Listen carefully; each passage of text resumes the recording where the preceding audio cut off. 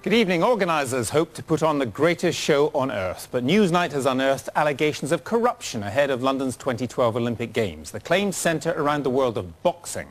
Insiders have told us that a senior member of the Amateur International Boxing Association guaranteed that Azerbaijan would be awarded two gold medals in return for secret payments of millions of dollars. We've tracked down the man who's said to have done the deal, and we've also found his boss, who's told Newsnight tonight that there'll be an immediate investigation into the matter. Anna Adams has this exclusive report.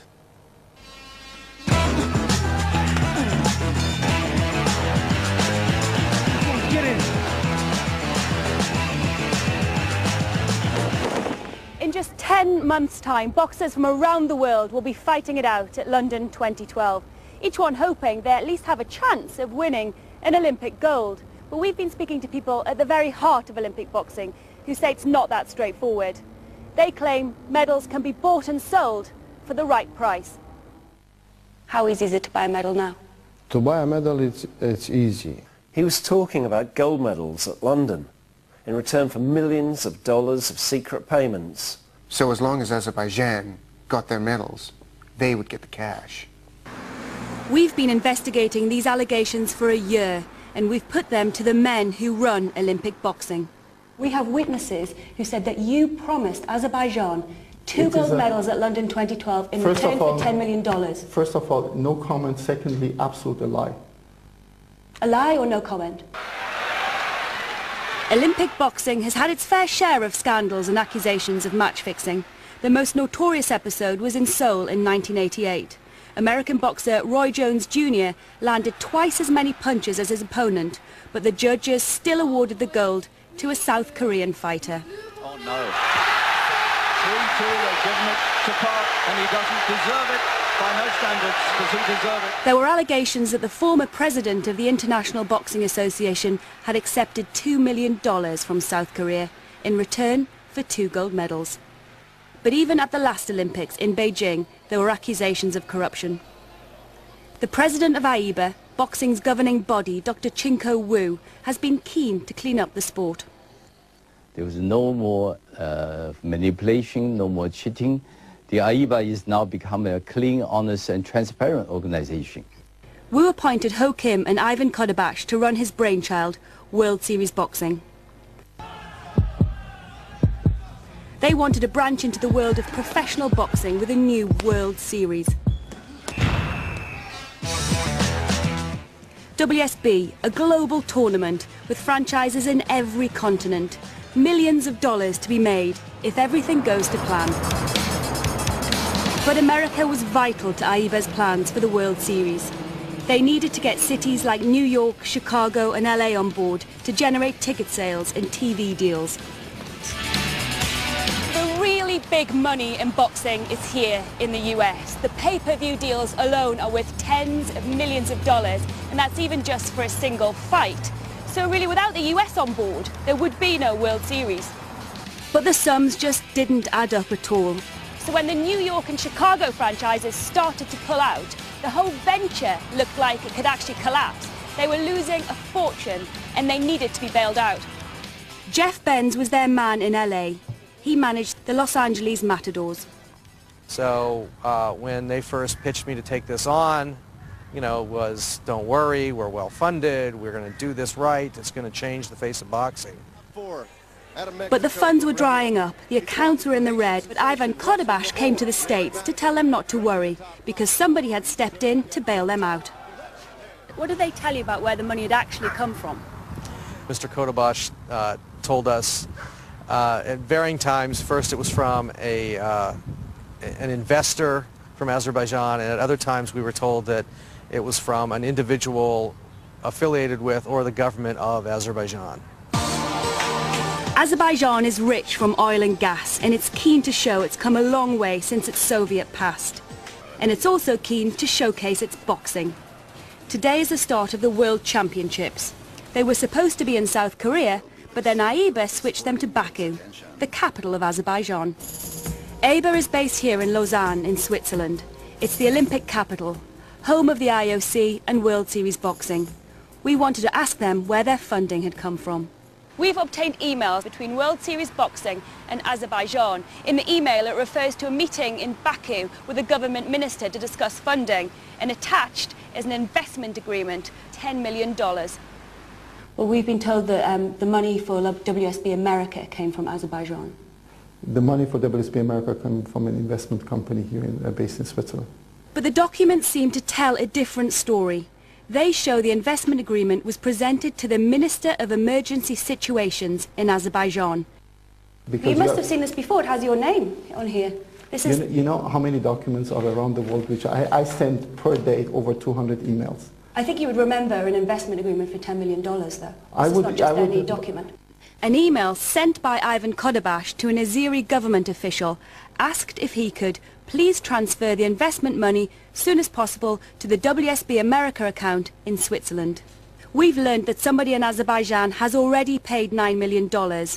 Days after we interviewed Ivan Khodabakhsh, the boxing authorities revised their story. They now admit the money came from Azerbaijan, but not, they say, from the government. They said the only reason they used someone in government to facilitate the deal was because the real investor, who is still a mystery, doesn't speak good enough English. The WSB franchises in the States were also keen to know more about who was paying their bills. So what did you make of this mystery investment? Well, it made me wonder if what the AIBA folks had told me was true, that there were links to the Azerbaijan government, what they were expecting to receive out of this because people, in my experience, governments or individuals just don't give money away, especially on the magnitude of 10 to 15 million dollars without some sort of expectation of quid pro quo or a promise. It didn't make sense to the boxing promoter Barry Hearn either.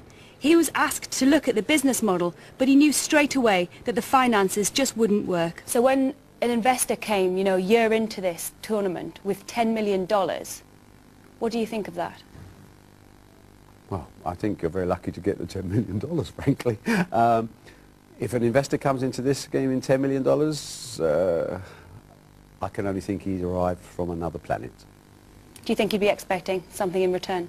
Uh, I would imagine that if he didn't think he was getting something in return, he should go straight to the funny farm. Insiders said Ivan Khodabakhsh claimed Azerbaijan were going to get something in return. He came in and he said, it's okay, we're safe now. Azerbaijan came up with the money, but we're going to have to give them medals. He was talking about gold medals in London in return for millions of dollars of secret payments.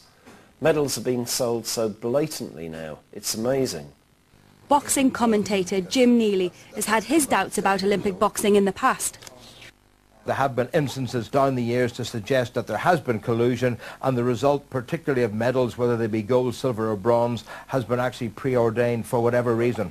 In order to manipulate the system it's really quite simple. If you want somebody to win, then what you simply don't do is press the button for the opponent. In other words, you can say, I didn't see it, I was unsighted, one boxer was in the way, the referee was in the way. If there's a, a scoring punch landed and three of the five judges simply don't press the button, then the poor chap who, who has landed the punch is not credited with the punch.